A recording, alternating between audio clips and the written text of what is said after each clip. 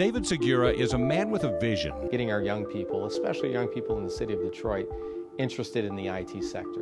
His company, Vision IT, has turned into a global enterprise. We've been on a, an amazing ride in, in, uh, in the expansion and growth of the business. That ride began 15 years ago when Segura left Ford to start his own company. Some people said, hey, IT company in the city of Detroit. And I said, this is the time to do it. Let's, let's transform the city of Detroit uh, make tech, uh, technology at the forefront. Today, Vision IT has about 100 employees in the Detroit area, nearly 1,000 overall company wide, along with 3,500 contractors. Clients include Pfizer, Hewlett Packard, and the Detroit Public Schools. We expanded it into 20 U.S. cities across uh, the country as well as we're operating in uh, outside of the U.S. in places like Mexico. So we've learned the IT marketplace. Segura's family background goes back in southwest Detroit nearly 100 years.